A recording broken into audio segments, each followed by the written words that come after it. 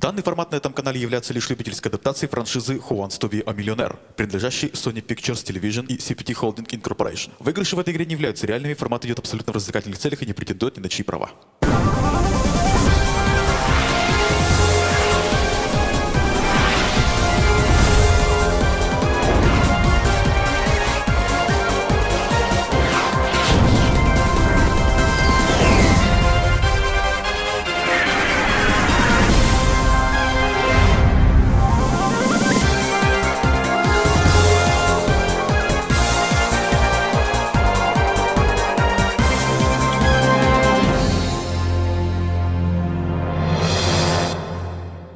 Времени суток, дорогие подписчики! В эфире вновь вещает игра «Кто хочет стать миллионером». В нашей любимой игре принимает участие множество игроков. Одним удается выиграть и унести из нашей студии 3 миллиона рублей.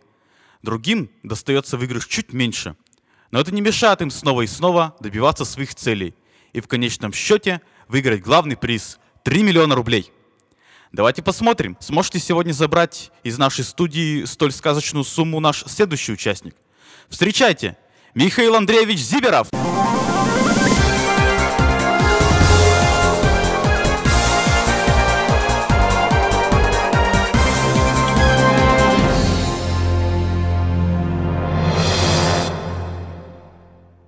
Добрый день. А, Михаил Андреевич, откуда вы пожаловали к нам, собственно? Ну, родом я из Фаниполя, это Дзержинский район Минской области, Республика Беларусь. Сейчас нахожусь и учусь в, Гомельско, в Гомеле, в Гомельском университете, Белорусском государственном университете транспорта. На вот. кого вы учитесь там? Инженер-электромеханик, тяговый подвижной состав, электрический транспорт и метрополитен. Ну, после университета могу пойти работать помощником машиниста, электровоза, электропоезда и так далее. В метро могу пойти или могу пойти к какому-нибудь там завод, который специализируется на сборке электроподвижного состава. А у вас э, с детства была мечта работать на железной дороге, в метро, машинистом? Ну, можно сказать и так. Вот не с самого раннего детства, но вот я пять лет э, до этого обучался на детской железнодороге, был юным железнодорожником. У меня есть права управления тепловозом даже. И как это управлять тепловозом? Легко и... Хочу, хочу сказать легко, но нужна реакция, потому что нужно еще учитывать и тормозной путь, и учитывать и вес состава. Вот. Ну, так сказать, нам помогают с управлением нашими составами вагонники, дежурные, вагонники там, например, нам дают справку о поезде, ну, так сказать, то, что нам надо знать о самом поезде. Вот, сколько там вагонов, какая, какой вес, вот. Какое тормозное нажатие, чтобы мы рассчитали тор, тормозной путь. А дежурные нас просто ну, направляют. Вот. Э, открывают нам путь. путь. Вот. Открывают нам все это. А у вас большой опыт управления подобными транспортными средствами? Три года. Скажите, пожалуйста, э, вот э, вы в основном грузы возите или пассажиров? Э, в основном я перевозил пассажиров, но иногда и управлял грузовым э, маневровым тепловозом. Ну, то есть э, занимался маневрами на станции и так далее. Все понятно. А куда вы планируете потратить 3 миллиона рублей, если вы их, конечно, выиграете? Вопрос, конечно же, интересный. Ну, часть, может быть, себе оставлю, часть на благотворительность, потому что добро надо делать. А кому вы хотите отдать их на благотворительность? Ну, у нас в Беларуси есть э, достаточно фондов вот, помощи, вот, куда можно эти деньги потратить и не сожалеть в своем выборе, потому что ты знаешь, куда эти деньги отдаешь. Вот. Ну а часть я, наверное, потрачу на то, чтобы, э, так сказать, наш белорусский формат, так сказать, улучшать, сделать его более, ну, сделать его уже из стадии проекта, в, в, ну, из стадии вот проекта, разрабатывающегося в стадии проекта реализуемого, и продвинуть его даже на телевидение. Вот. Потому что если смотря, так сказать, если смотреть последние вот новости э, сферы игры «Кто стать миллионером» по всему миру, то глядя на этот парад версий, которые вновь открываются, либо впервые открываются в разных странах, то можно сказать, что и белорусская версия официальная не за горами. Все понятно. Да, Михаил, это действительно очень великие цели. Я желаю, чтобы вам обязательно хватило сил, средств и времени, и всего, что только нужно для того, чтобы эти цели воплотились. Но с деньгами, как говорится, можем и помочь. Но для этого вам нужно пройти через 15 вопросов, каждый из которых будет давать вам соответствующий выигрыш, пока вы не дойдете тогда до 3 миллионов рублей. Помогать вам в прохождении нашего денежного древа будут три подсказки. Это звонок другу, причем время для звонка будет меняться в соответствии с категорией вопросов. Так, например, с 1 по 5 вопрос вам будет дано 30 секунд, с 6 по 10 45 и с 11 по 15 60 секунд. Помощь зала. Если мнение друга вам не совсем помогло, и вы хотите узнать мнение зала по этому вопросу. Также подсказка 50 на 50, которая отметет два неверных ответа и, быть может, поможет вам отмести некоторые сомнения. Но это всем известная классическая версия игры. Однако существует и рискованная, в которой несгораемая сумма, в отличие от классической, где их две, а, а именно 5000 рублей и 100 тысяч рублей. А в риске несгораемая сумма будет всего одна. Но какая, это будете решать вы. Кроме того, на этом бонусы не заканчиваются. К вашему арсеналу подсказок будет добавлена еще одна. Это право на ошибку. Какую систему вы для себя выбираете? Конечно, право на ошибку это хорошая подсказка, хочу сказать вам, но я думаю, сегодня я поиграю по классике. По классике? Потому что... Да, потому что классика сейчас очень распространена в мире. Вот, и почему бы и не сыграть? Мировые тенденции показывают, что в настоящее время распространена рискованная система. И Но... в интернет-сообществах обычно любят играть по риску. Но это интернет-сообщество, а я смотрю на официальные версии. Конечно, большинство интернет-версий, они более основываются на, на, на, на э, отечественной российской, так сказать, версии, где, так сказать, этот рисковый вариант с 2012 года на постоянной основе. Вот. А так э, э, в мировом, так сказать, мировой практике используется классика. Вот. Это если еще не смотреть на возобновленную британскую версию и там э, итальянскую, когда где там тоже две неотграемых суммы, но вторая назначается вами, так сказать. Ну и еще подсказка помощь ведущего. Ну, вторая сумма несгораемо будет назначаться не вами и не нами, она уже будет известна сразу. Ну что ж, классика — это ваше решение. Надеюсь, что правила понятны. Смею напомнить, что пока вы не дали окончательный ответ, вы можете забрать выигранный день. Все понятно? Все понятно. И мы с Михаилом Зиберовым начинаем игру «Кто хочет стать миллионером?».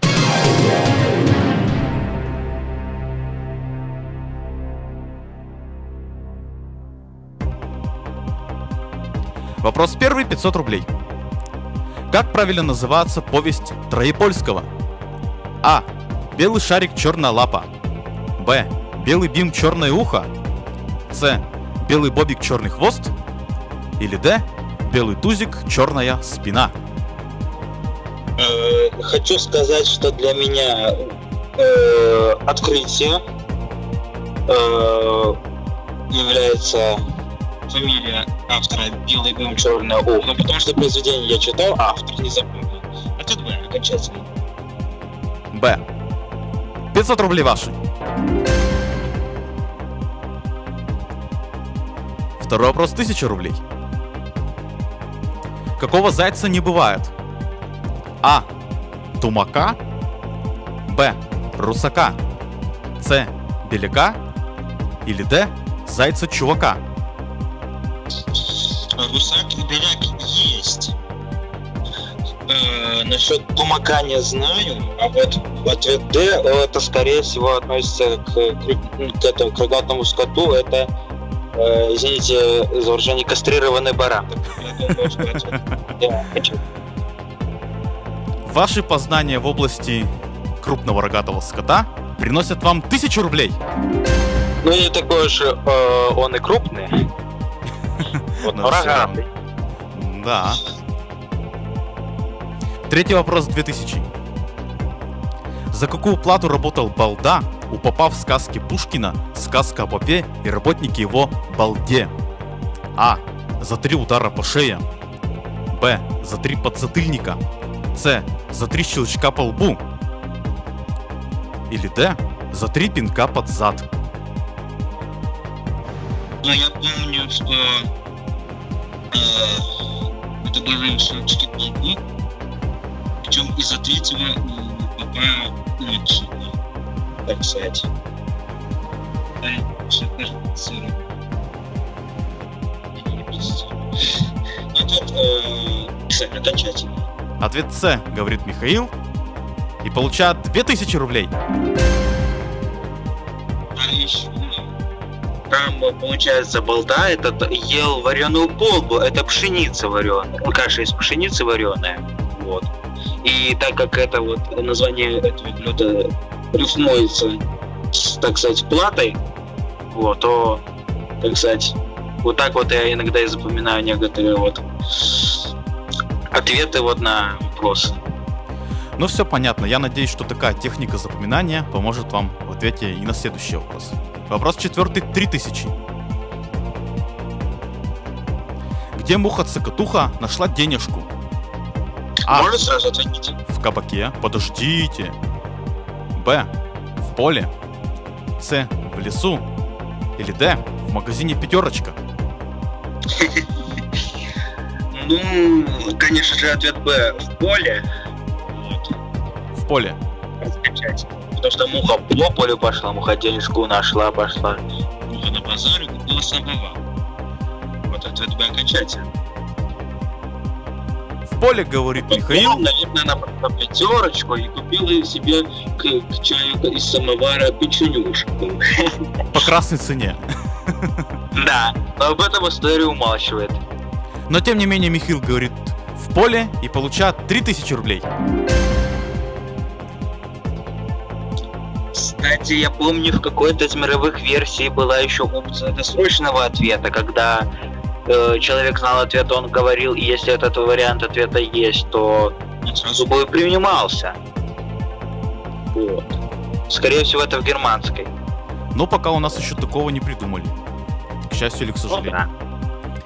Итак, вопрос пятый. 5000 рублей. Первая несгораемая сумма. И ваша последняя возможность, Михаил Андреевич, уйти из нашей студии ни с чем. Какую позицию на поле называют голкипер? А. Защитник. Б. Вратарь. С. Полузащитник. Или Д. Нападающий. Э, Форвард это нападающий, это я точно знаю. Но еще не помню, как называется защитник. Полузащитник, а голкипер это вратарь, потому что э, вратарь, так сказать, эти голы Предотвращает. Ну да, конечно же, это вратарь, правильно.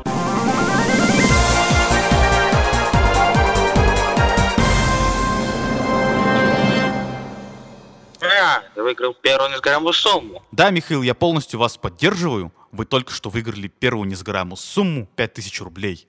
Не потратили ни одной подсказки, это тоже очень важно. А на очереди у нас шестой вопрос, правильно ответив на который, вы можете заработать уже 10 тысяч рублей.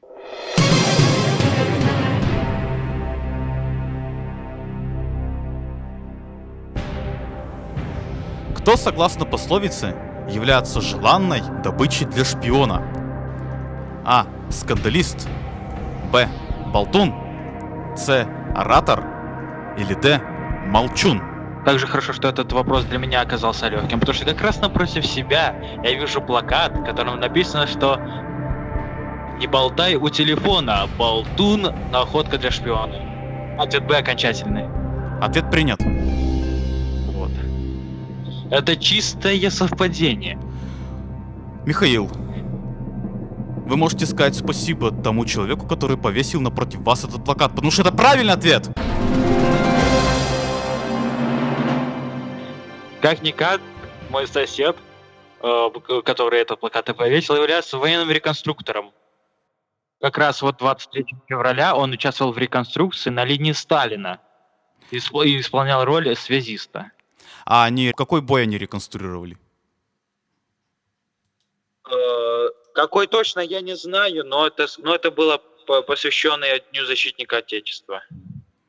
Все понятно. Ну, знаете, там всякие, так сказать, театрализованные выступления вооруженных сил, которые они устраивают на этих вот.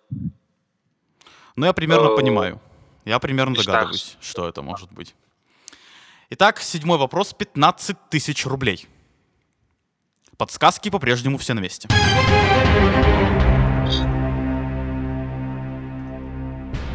Какая марка автомобиля реально существует? А. Гелендваген Паук. Б. Volkswagen Жук. С. Toyota Клоп. Или Д. Mitsubishi Таракан. Не хочу показаться подозрительным, но как раз сейчас я напротив Напро... окна вижу, я вижу припаркованный Volkswagen Beetle, что переводится с английского означает Volkswagen Жук. Как-то все очень удачно складывается сегодня вокруг вас. я вам вот что скажу. Ну, это, наверное, первая игра, в которой у меня шестой, седьмой вопрос был более легкими пока попались. Окончательно. Ответ Б. Принят.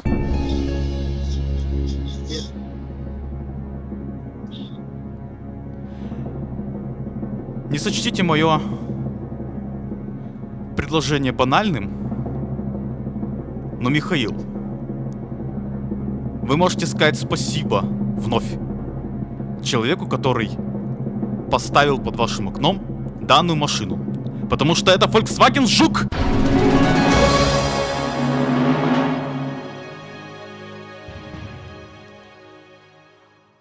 Ну что ж, Михаил Андреевич, у вас 15 тысяч, а подсказки по-прежнему все на месте. Интересно, повторю ли я путь Джона Карпентера, который дошел до 15 вопроса, не встретил ни одной подсказки, а на последнем вопросе позвонил своему отцу и сказал, что «Зря ты, отец, считал меня болваном, потому что я дошел до 15 вопроса и знаю ответ на вопрос». Пользуясь таким случаем, вы тоже позвоните своему отцу? Ну, к сожалению, технически я не могу это сделать, тем более мой папа сейчас на работе. Вот, и ему не будет не до звонков. Но зато какой будет ему приятный сюрприз. Ну, ну, по крайней мере, у меня есть друг, которому могу позвонить. Вот. Ну, мы потом узнаем, когда я уже буду использовать подсказку. Но я надеюсь, что у вас будет повод обрадовать друга. Ну да. Итак, у нас на очереди восьмой вопрос на 25 тысяч рублей.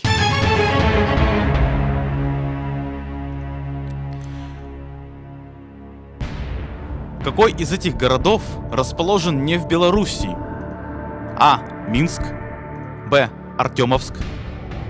С. Витебск. Или Д. Бобруйск. Кто у вас редактор? Сразу видно, человек, так сказать, дальновидный, опытный, знающий подход к игрокам. Б. Артемовск, потому что не знаю, не видел еще ни такой города с таким названием. Вот. Ну а может он где-то есть? Вот вы его может не видите? Быть, есть, может вот. быть, есть деревня Артемовка. Вот, а города Артемовск нет. Вот может Вообще, быть... хочу сказать, у нас есть э, деревня Париж, деревня Бали. Вот. Вы ездите отдыхать туда, на Бали? Ну, посмотрим. У нас даже есть целый мир. Где находится замок популярный не только у нас, но и у туристов. Так город называется. А так? На этом вопросе у меня окончательный.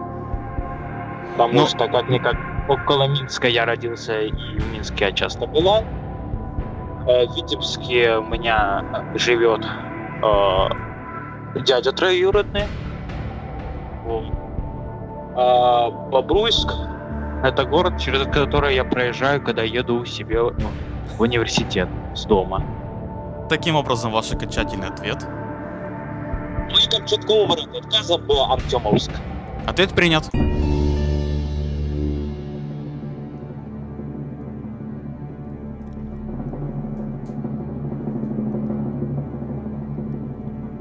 Город Артемовск расположен в Красноярском крае России. Но не спешите радоваться. Такое же название носит город и в Луганской области Украины. Таким образом, в Беларуси города с подобным названием нет. Правильно!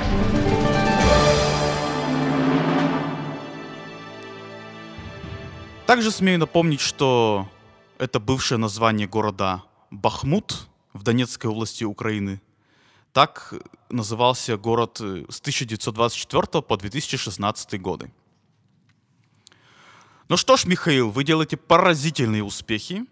Вы дошли до девятого вопроса стоимостью в 50 тысяч рублей, не затратив ни одной подсказки. Это очень похвально. Я надеюсь, что до десятого вопроса, до второй несгораемой суммы, вы доберетесь точно с таким же составом подсказок. На очереди у нас девятый вопрос и 50 тысяч рублей.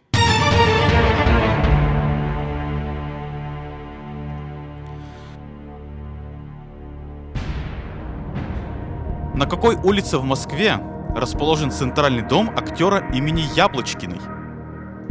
А. Арбат. Б. Новый Арбат. С. Тверская. Или Д. Маховая. Ой. Прям сразу так. Это вопрос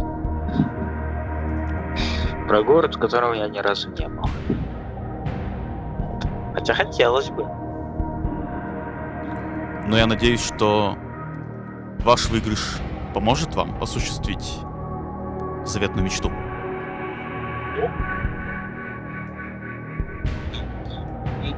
Думать.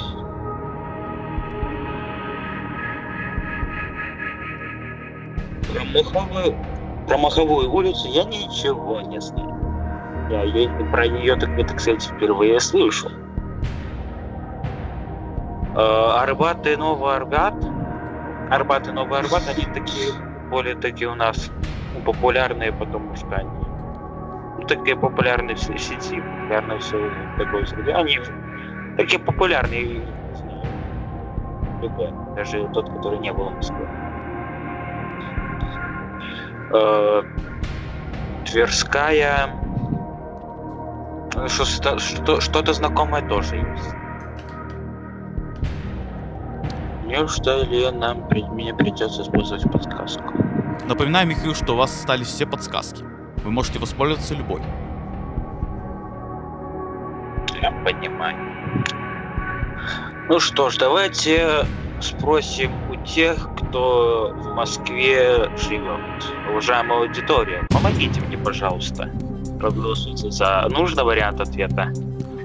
Можно голосовать.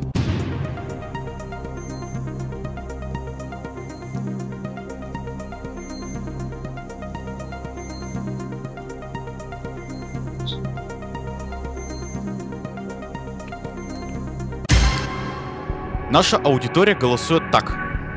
50%, а именно добрая половина нашей аудитории считает, что это Арбат. Причем именно половина. Ну что, Известны случаи, когда зал ошибался. Поэтому в любом случае я предлагаю вам еще подумать и принять взвешенный и правильный ответ.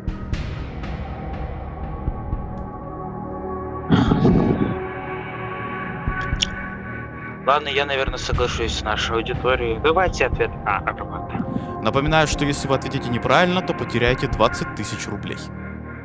На эти деньги можно спокойно съездить в Москву.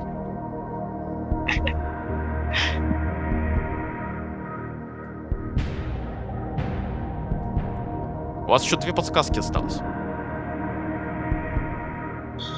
Просто не хочется мне сейчас тратить важную для... Как, по крайней мере, по, как по мне, важную подсказку 50 на 50. М, Даже не знаю. Ладно, давайте э, вариант А. Вариант А – Арбат. Не будем Да. больше думать. Окончательный ответ. Окончательно. Ответ принят.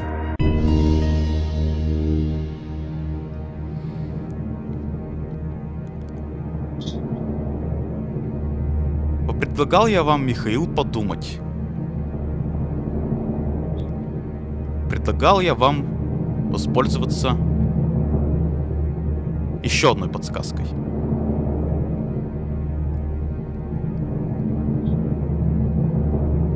Я напоминал, что в случае неправильного ответа вы рискуете потерять 20 тысяч рублей.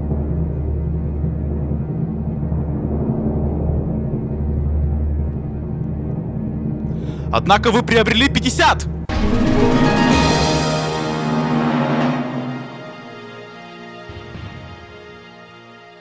Конечно, вашему, так сказать, уровню э, интриги может позавидовать сам Дмитрий Александрович. Ну что ж, Михаил, одну подсказочку, к сожалению, все-таки удалось вам упустить. И благодаря этому вам удалось правильно ответить на девятый вопрос. И еще на шаг стать ближе к несгораемой сумме 100 тысяч рублей. Давайте же посмотрим на этот десятый вопрос, который принесет вам в случае верного ответа несгораемые 100 тысяч рублей.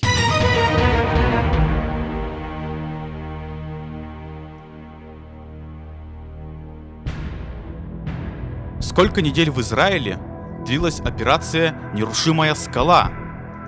А. 4 недели. Б. 5 недель. С. 7 недель.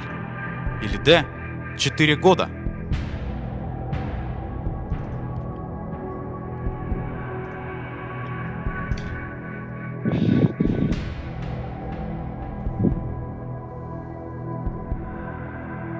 Сразу признаюсь, ответа я не знаю, как и на предыдущий вопрос. В таком случае я предлагаю воспользоваться подсказками. Ну да. Какую подсказку будем использовать? Давайте звонок другу. Кому будем звонить? Давайте позвоним Никите Кордонову. Звоним Никите Кордонову.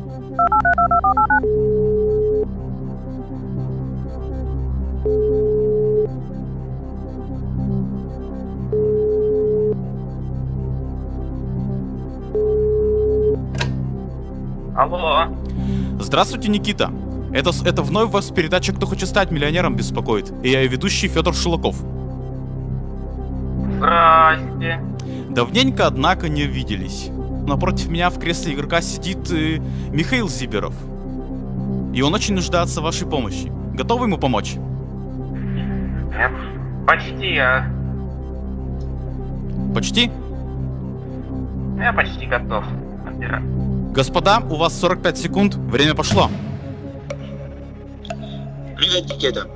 Э, Сколько недель в Израиле длилась операция «Нерушимая скала»? А. 4 недели, Б. 5 недель, С. 7 недель, Д. 4 года. Так, началось 7 июля, это 14, 21, 28, да. 25 секунд.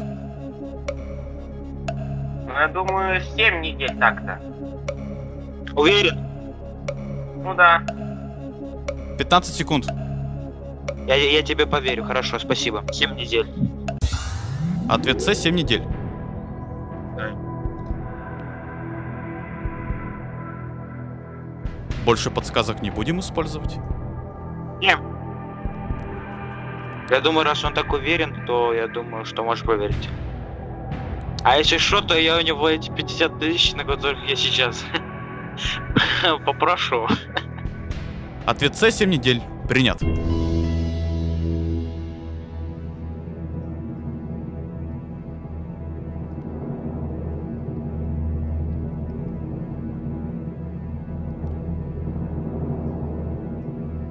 Ну, Михаил Андреевич,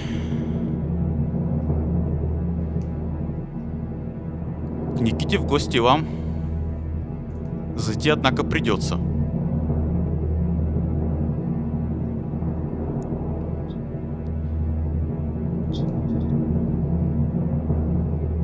Для того, чтобы его отблагодарить, ведь вы выиграли только что 100 тысяч рублей!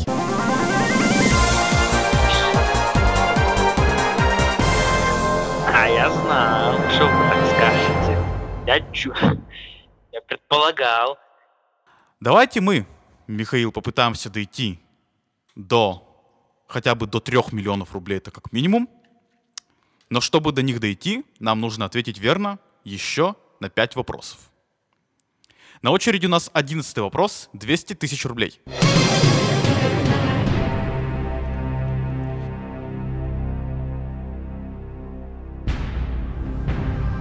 Какой город Швейцарии более 600 лет процветает, придерживаясь лозунга «Молись и работай»? А. Женева. Б. Цюрих. С. Лозанна. Или Д. Давос. Ну, я, я слышал про что-то про Цюрих, я знаю, что э, я знаю еще Женеву, так как в ней конвенция Женевская э, о правах человека была создана. И Женева долгое время являлась, так сказать, центром таким вот э, этих вот дипломатических всяких там стран и так далее. Я напоминаю, что у Да. вас еще осталась одна подсказка, это 50 на 50. Вы можете откинуть два неверных ответа, вместе с ними, возможно, откинутся ваши сомнения. Ну да, давайте 50-50. 50 на 50. Уважаемый компьютер, уберите, пожалуйста, два неверных ответа. Это Цюрих или Давос? К чему вы сейчас больше склоняетесь? Я склоняюсь больше к Цю- Цюриху, но это скорее из-за того, что я о нем больше всего слышал. Ну авось попадете. В любом Но- случае, сейчас вы ничем не рискуете. Ну, хочется побольше сработать. Какой ваш ответ? Ну, давайте Цюрих. Окончательный ответ. Ответ принят.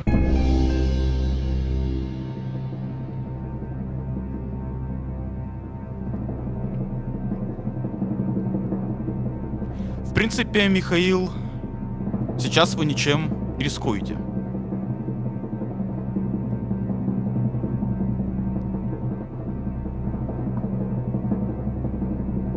Это спасает ваше положение.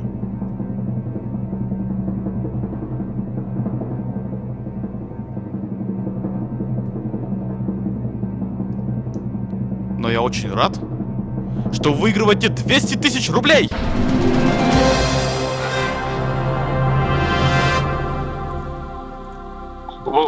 Кстати, вот этот вот ваш лозунг, вот «Молись и работай», является не только лозунгом этого города, но и лозунгом кальвинистов. А откуда вы это узнали? А я, у меня был вопрос на что, где, когда, на который я, правда, неправильно ответил. Все понятно. Ну а мы идем к 12 вопросу. 400 тысяч рублей. Подсказок больше нет. Надеемся, Михаил, только на себя. Да, на себя и на высшие силы.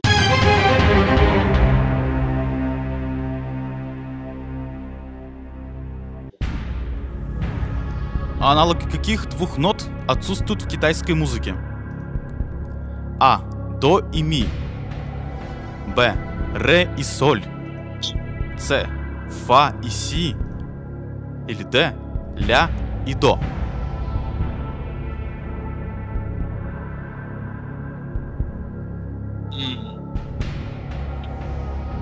Дайте вспомнить. Я когда ходил в музыкальную школу, у нас было, так сказать, музыкальная литература. Ну, Мы музыкаль- проходили не только нашу, не только нашу отечественную музыку, но и музыку за- зарубежную. Вы в музыкальной школе учились? Да, я отучился 7 лет музыкальной школе, и, э, отучился на баяниста. О, в каком-то плане мы сами коллеги. Я тоже в свое время отучился 7 лет в музыкальной школе по классу баяна. Ну а про китайскую музыку вам не рассказывали на уроках музыкальной литературы? Рассказывали. Только это, так сказать, было давно, потому что, ну, лет пять назад точно. Вспомнить, к сожалению, мне сейчас вот очень сложно. Подсказок нет, да? Подсказок, к сожалению, нет. Но вы можете забрать выигранные 200 тысяч рублей.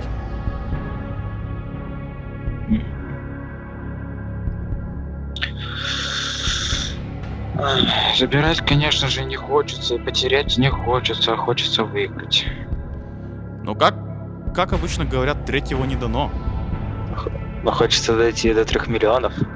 Вы не учили китайскую музыку на музыкальной литературе? Ну, я ее, мы ее касались так поверхностно, но я помню, что там э, пять нот.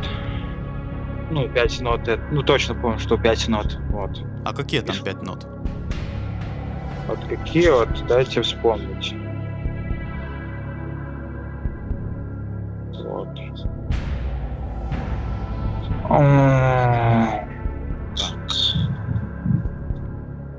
Каких-то двух нет. Двух нет. Так.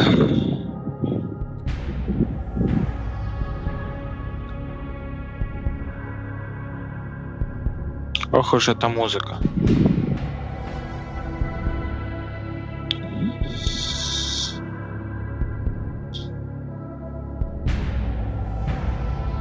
Так.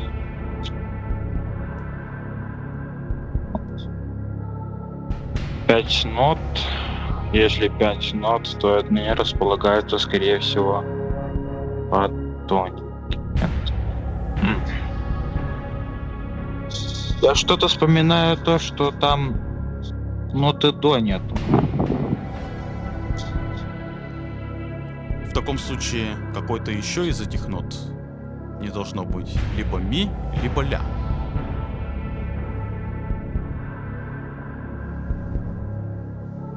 Есть вариант до и ми, и есть вариант ля и до.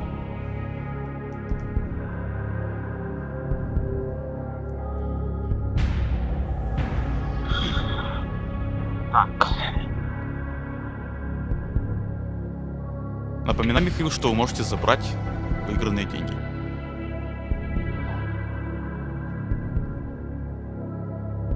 Двести тысяч сумма тоже вполне неплохая, Это да. как я считаю. Да.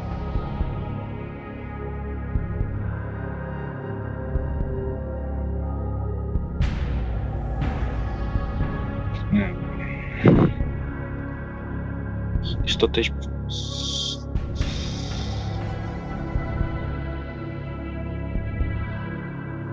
Давайте ответ С. А почему, а почему вы так думаете? Почему FIC?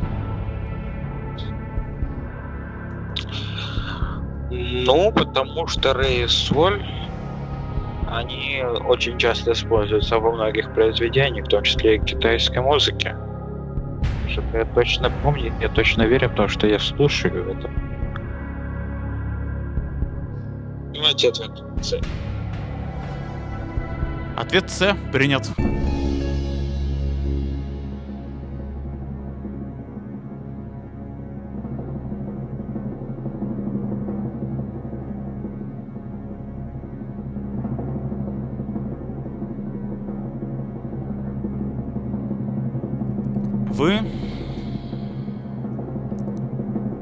Считали, что отсутствует нота до Да. в китайской музыке.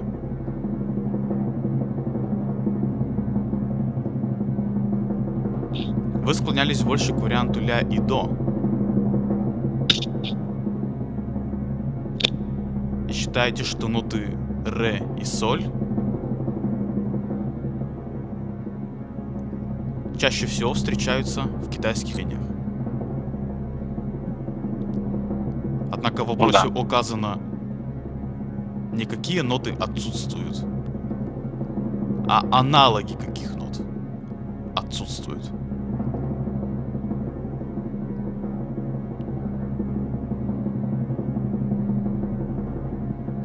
Но тем не менее вы дали правильный ответ!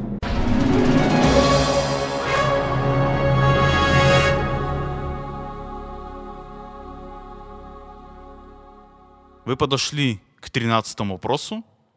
До 3 миллионов всего осталось буквально пара шагов.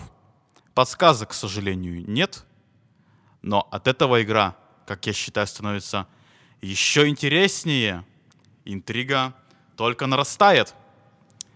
Давайте же посмотрим на этот коварный 13 вопрос.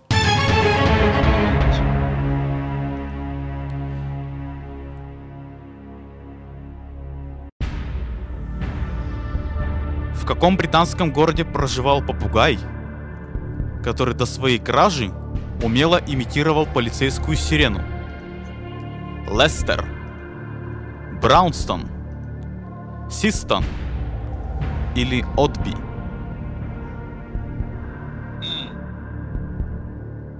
Я что-то про это слышал. А где вы это слышали?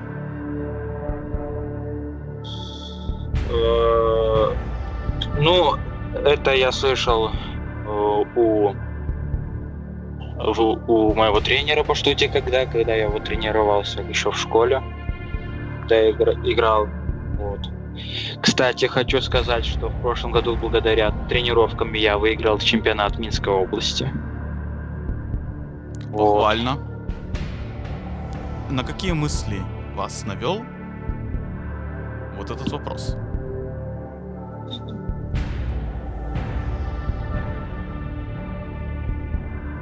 Я точно, я точно знаю, что это не Браунстон, потому что я его тогда на тренировке и указал в качестве ответа, на что получил то ответ то, что это неправильно. То есть ответ, Это точно неправильный ответ.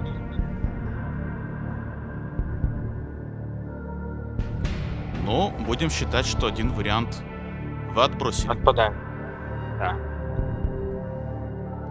Но есть еще три.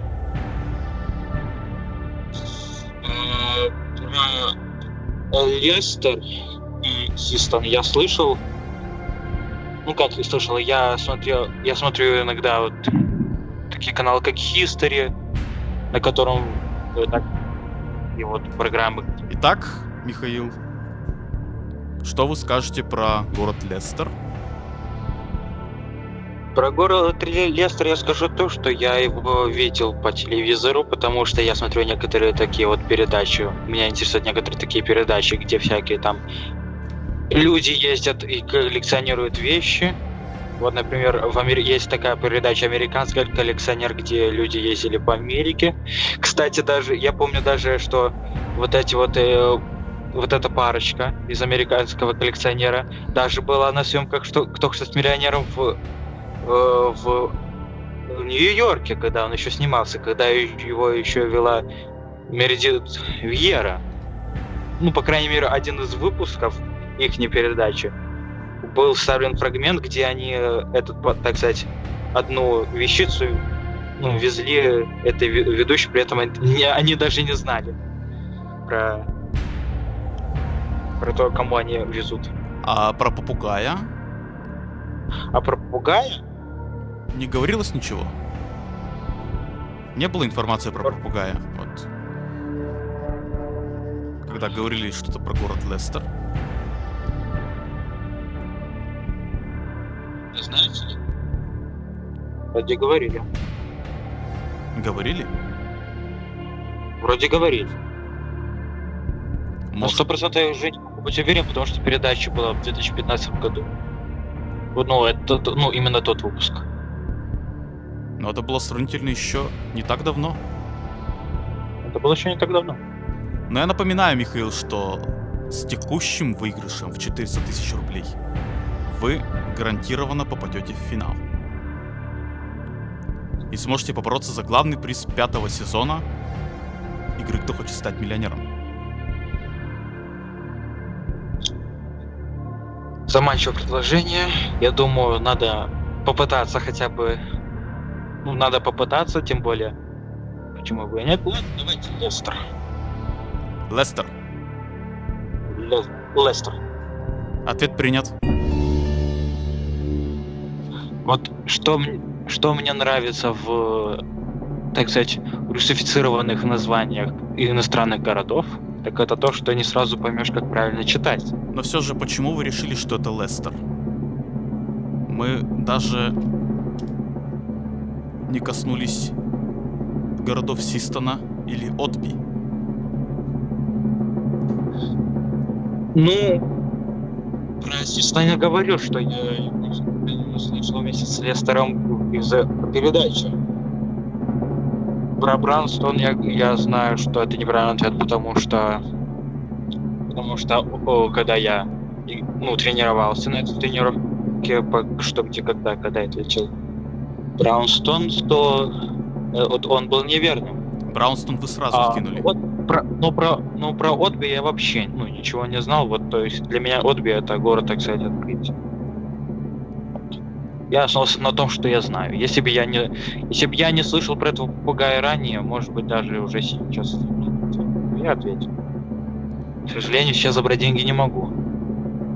Я говорил вам, Михаил, забрать деньги. Я предлагал. Я говорил вам, что в этом случае вы гарантированно попадете в финал шести. И сможете побороться за главный приз пятого сезона игры «Кто хочет стать миллионером». Но сейчас я вам хочу сказать, что ваши возможности возросли в два раза. Это правильный ответ! Мне не верится. Это, наверное, сказывается то, что я вчера полдня провел за игрой «Миллионер», которую один мой знакомый, так сказать, разрабатывает. Ну, как сказать, разра- разработал, вот.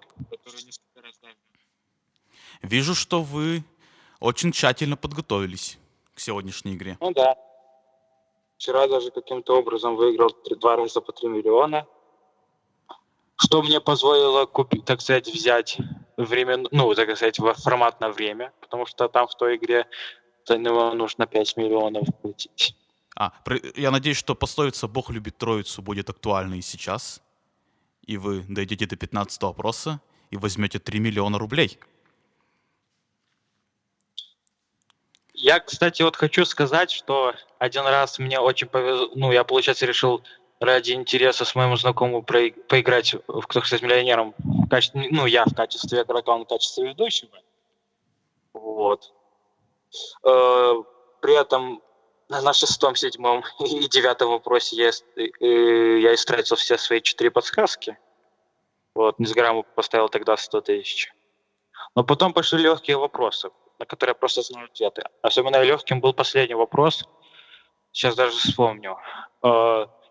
Какое было, ста- а, вспомнил. Какое было старое название Балтийского моря? И что вы на него ответили?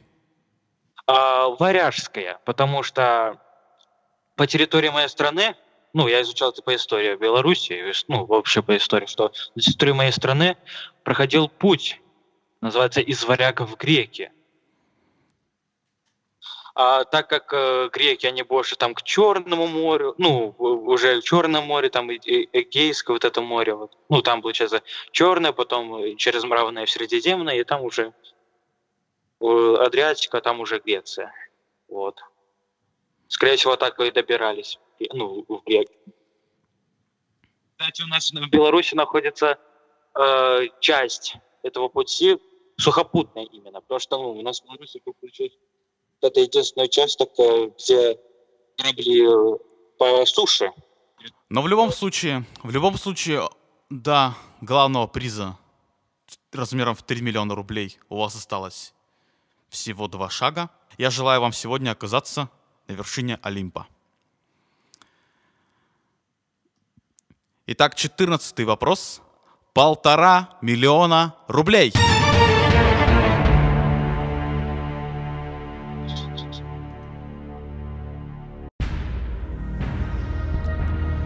Какой химический элемент не будет взаимодействовать с водой?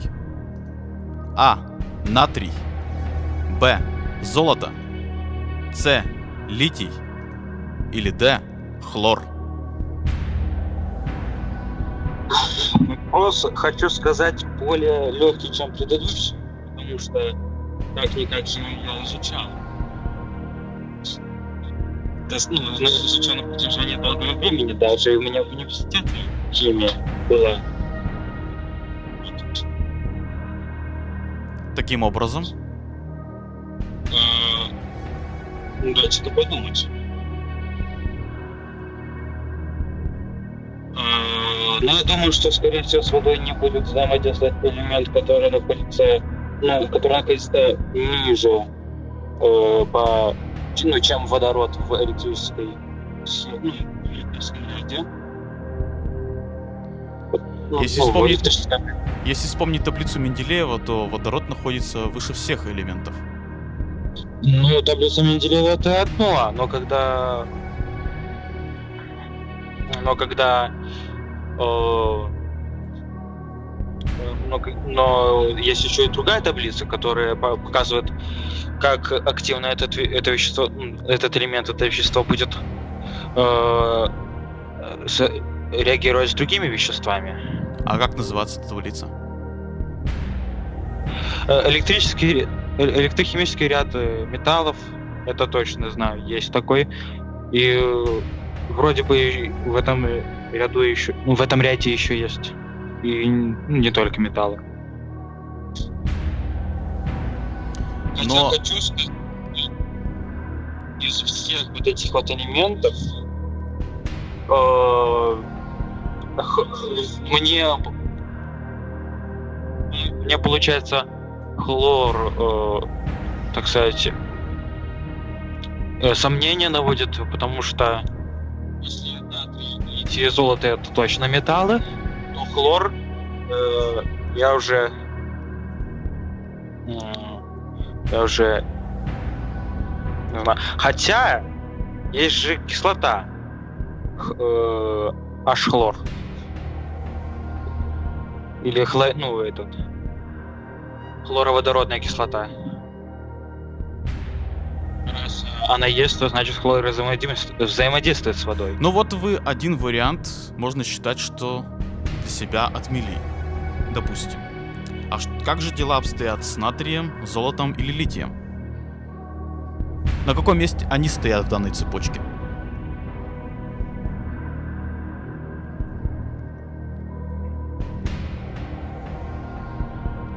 Ну это вот надо вспомнить. Это надо вспомнить. Давайте попробуем вспомнить. Но золото это благородный металл. Вот. Это точно. Потому что э, золото находится правее всех в этом ряду. Ну, потому что этот ряд, получается, находится горизонталь. В основном, ну, в основном из ряд гориз- горизонтальный, он правее ряду. Вот.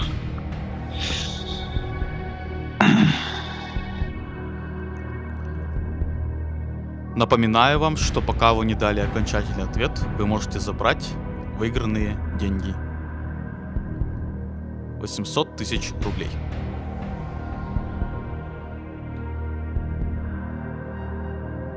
Э, Вроде бы насчет натрия я могу сказать, что он э, активно с водой взаимодействует. Ну, по крайней мере, он, он чубурно взаимодействует.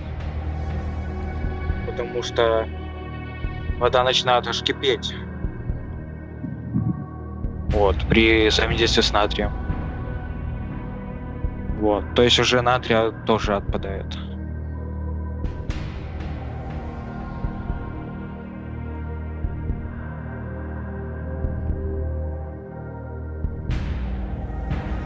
Хотя, А вот про литий вы что можете сказать? литий. Я знаю, есть литий-ионные батареи.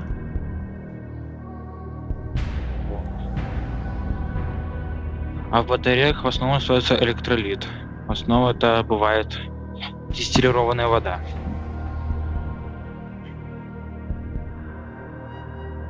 Ну вот, Михаил, круг замкнулся. Круг замкнулся. Но если литион, если вот этих вот литионных батареях э, вот этот вот литий и это дистиллированная вода, которая по, по себе, ну, является именно водой, то, скорее всего, он взаимодействует литий с водой, ну и, появля- и появляется вот этот вот заряд. Получается так, что все химические элементы с водой взаимодействуют.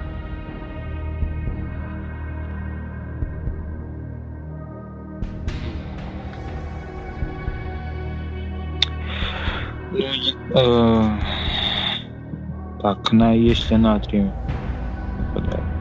Это золото. Мне вот интересно золото. Тем, э, тем более, есть же и золотоискатели же используют промывку. Когда они берут песок, его промывают, вот, и остается золото. Вот. Но все же к какому варианту... Ладно, давай, давайте тогда ответ золото, потому что, э, ну, потому что раз я все три отбросил, Я напоминаю, что в случае неверного ответа вы потеряете 700 тысяч рублей. И уже не, и, и не сможете поучаствовать в финале шести. хочется поучаствовать. Давайте золото. Вот э, раз все это отбросил, значит золото, давайте. Тем более золото благородный металл, как я сказал. Вот, то есть металл почти инертный. Ответ Б золото. Деньги забирать не будем. Деньги забирать не буду. Ответ Б золото. Окончательно. Ответ Б золото. Принят.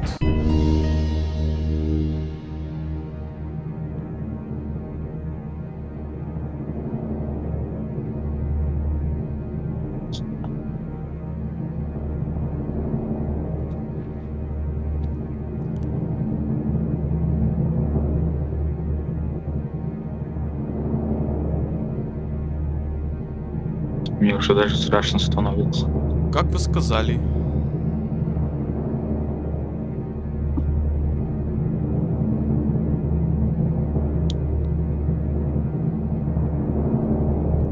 хлор с водой взаимодействует.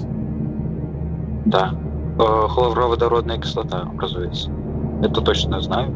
Это даже все могут знать. Ну, по крайней мере, кто химию не прогуливал.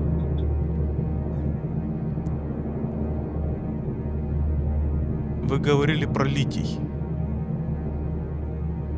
Да. что он может Он взаимодействовать с... что он может взаимодействовать с водой. Да. А я вам говорил, Михаил, что было бы лучше забрать деньги. А теперь у вас полтора миллиона рублей!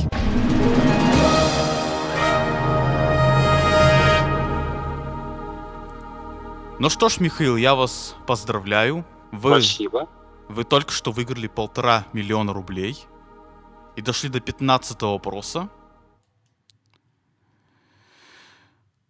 По всему мировому движению игры «Кто хочет стать миллионером» ходит такая традиция, что каждый игрок перед тем, как ответить на 15 вопрос, вернее, перед тем, как он зазвучит, обращается к своим родственникам, к своим родным людям, как, например, вышеупомянутый вами Джон Карпентер, который на 15 вопросе взял подсказку звонок другу и позвонил своему отцу, чтобы сказать о том, что он выиграет миллион долларов. Поскольку подсказки звонок другу у вас сейчас нет, я предлагаю вам прямо сейчас обратиться к вашим родным, к вашим друзьям, тем, кто будет смотреть этот выпуск, и сказать им самые важные слова.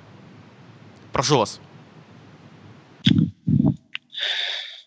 Я хочу сказать большое спасибо своим всем родным близким, которые, прильнув к экранам мониторов, своих компьютеров, телефонов, телевизоров, будут смотреть этот выпуск в любых источниках, будь то YouTube, социальная сеть ВКонтакте или какая-нибудь другая социальная сеть, прильнув к, к экранам и мониторам, будут болеть за меня.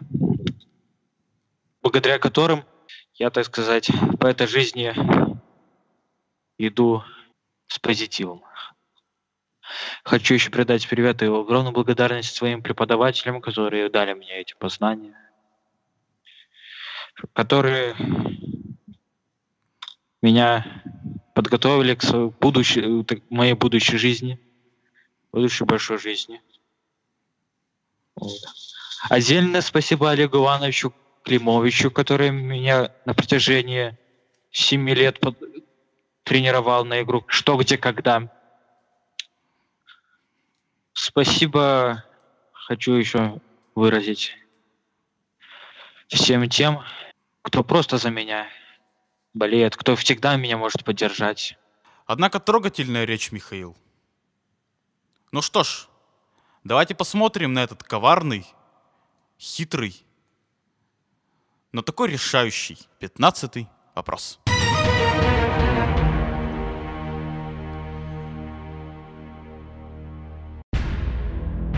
Какой из этих индийских фильмов был снят на языке малаялам?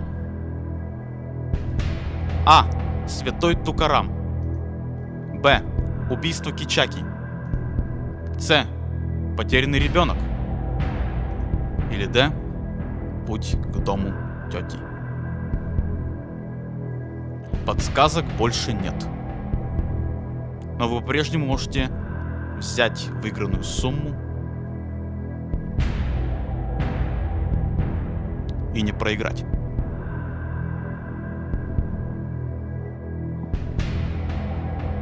Вопрос очень сложный. Неожиданный для 15 -го.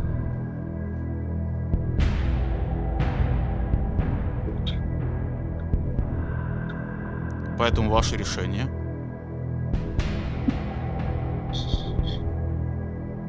Дайте ко мне подумать.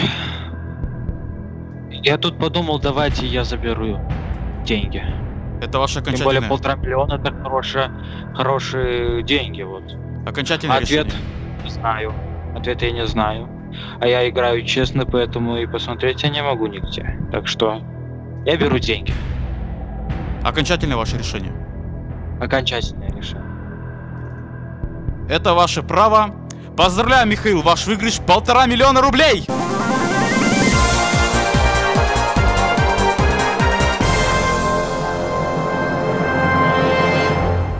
Примите мои поздравления. Спасибо.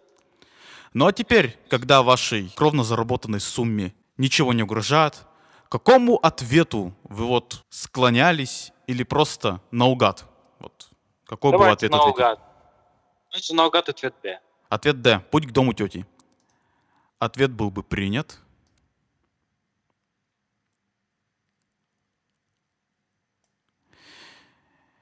Очень хорошо, Михаил, что вы забрали полтора миллиона рублей. Потому что правильный ответ С. Потерянный ребенок. Поздравляю вас, Михаил. Полтора миллиона – это тоже хорошая сумма. Я надеюсь, что с ее помощью вы сможете добиться поставленных целей. Большое спасибо. Традиционный немножко вопрос. Э, как, какие у вас впечатления остались об игре? Эйфория вперемешку со страхом и...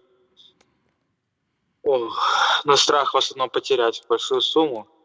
И еще... Сердце, сердце бешено даже колотится. Вот, вот эта вот музыка нагнетающая местами. Вот, хотя хочу сказать, что музыка современная, она более такая расслабляющая, но когда на последнем вопросе вместе со своим сердцебиением это слышу сердцебиение, которое в музыке, то это уже становится немного не по себе. Вот. И главное, главное не терять рассудок, вот, потому что главное держать ну, держать себя в руках. Вот. Для этого я сказал, попросил вас подумать, ну, попросил вас, чтобы я подумал. Вот. И для этого я и забрал деньги. В любом случае, спасибо вам огромное за игру. Надеюсь, что мы увидимся в финале. Надеюсь. Счастливо вам пути.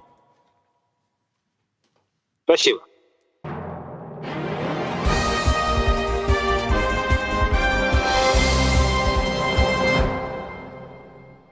Хочу поздравить Михаила Зиберова с выигрышем полутора миллионов рублей.